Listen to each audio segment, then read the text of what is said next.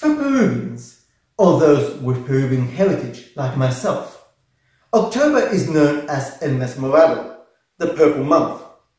In Lima, the capital city of Peru, many of the central streets become rivers of purple and white.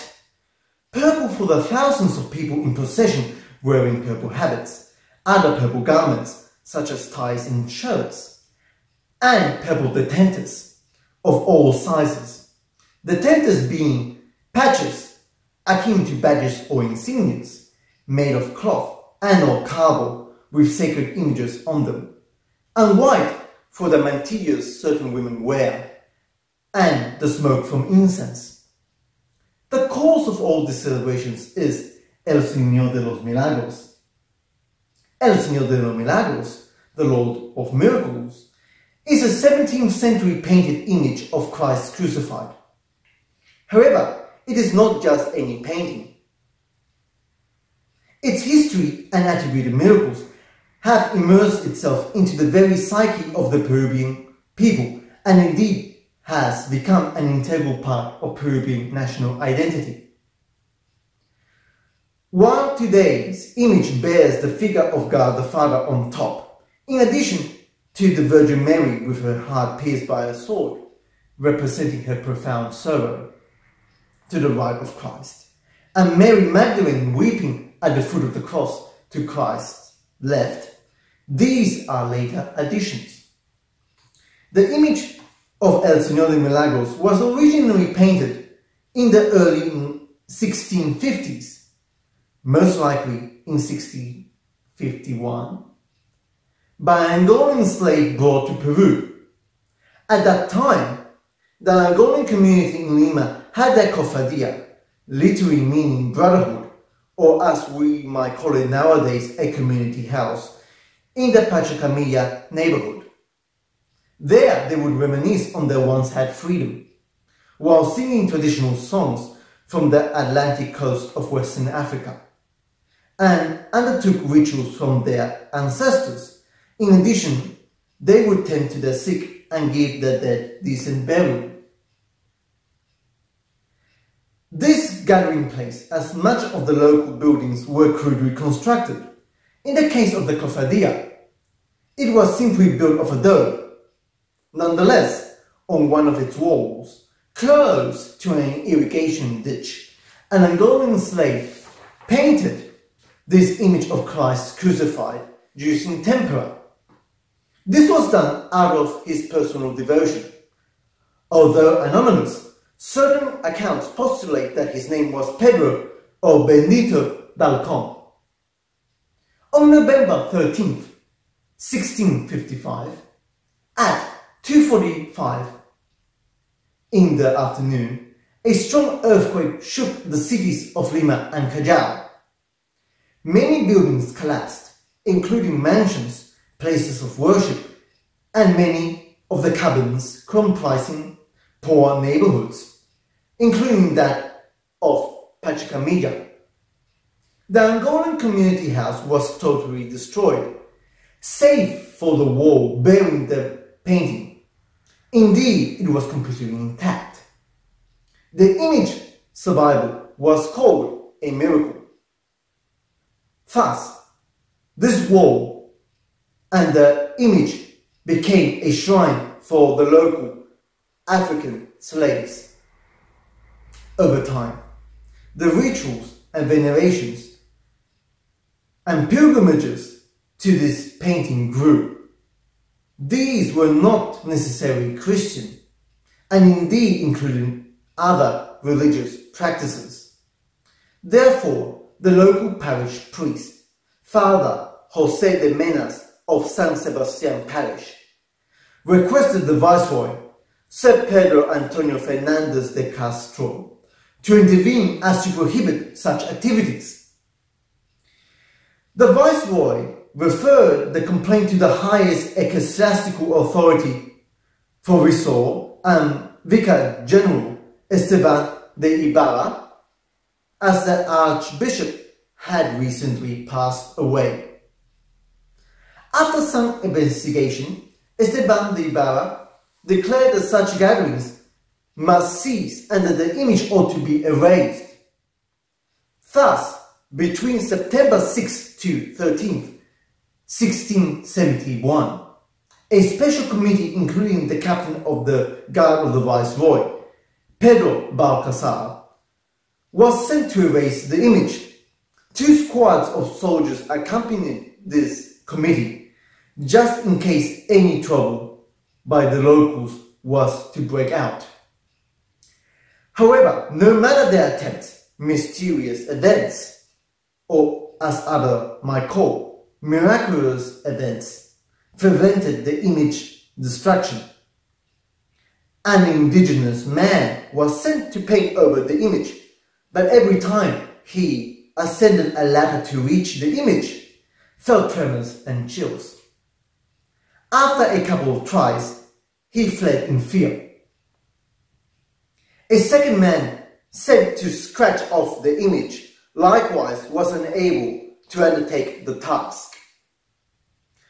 Lastly, a Korean soldier was sent, but he too could not destroy the painting. The soldier later reported that when he was in front of the image, he saw it becoming increasingly more beautiful under the crown of thorns was turning green in color. The locals protested loudly against the attempts of erasing the image.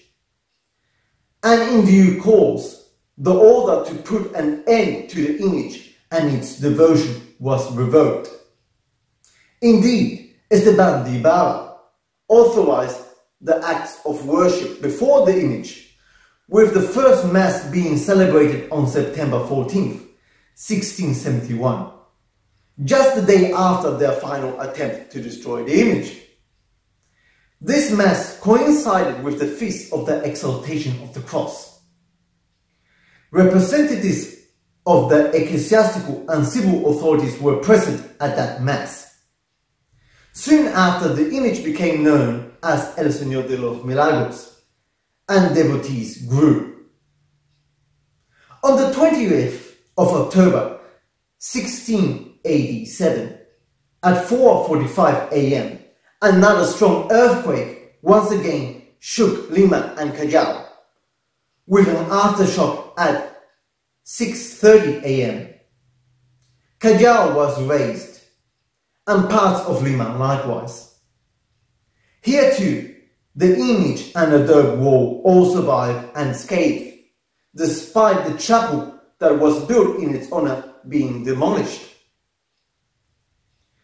Prompted by this, a replica oil painting of the image was made, and this replica was paraded around the streets of Pachacamilla on andas, which are similar to floats but carried on shoulders. From then, such processions were undertaken yearly. The image was declared patron of Lima, Ciudad de los Reyes, city of kings, against the quakes that rocked the land on 21st of September 1715. Since this moment, the procession expanded as to visit various areas of Lima. On October 28, 1746, a massive 8.6 magnitude earthquake hit Lima, the largest in Lima's history. At the time, Lima's population numbered around 60,000, and the estimates of the death toll of this earthquake range from 1100 to 11,000.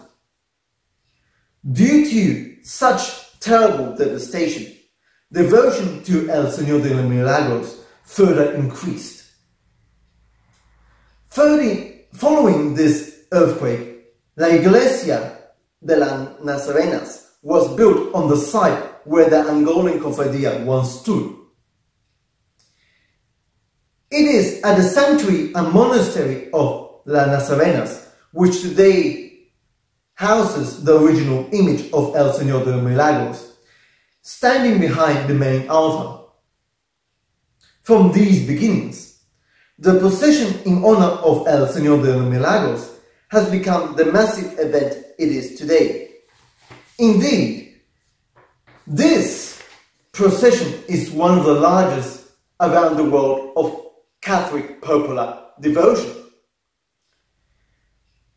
This devotion is so close to the hearts of Peruvians that on the 15th of October 2005, the Archdiocese of Lima, in coordination with the Holy See, declared El Señor de los Milagros as patron of all Peruvians, residents, and immigrants. That's to say that El Señor de los Milagros is patron of all Peruvians people, whether living in Peru or expats living elsewhere. Moreover, under the presidency of Alan Garcia on October 18, 2010, El Señor de los Milagros was named patron of Catholic religiosity and spirituality of Peru under a formal resolution in law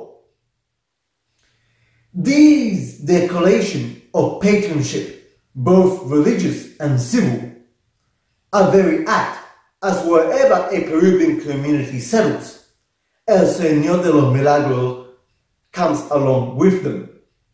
Indeed, in most major cities in North and South America, throughout Europe and Asia, and in Australia, some form of procession or celebration takes place during the month of October. To end this short history of El Señor de los Milagros, let us ask, why the color purple? According to tradition, groups of pious women who cared for the churches in Lima wore purple as a sign of penitence. This stuck and became associated with El Señor de los Milagros. Thank you for listening, and may the Lord of Miracles bless you.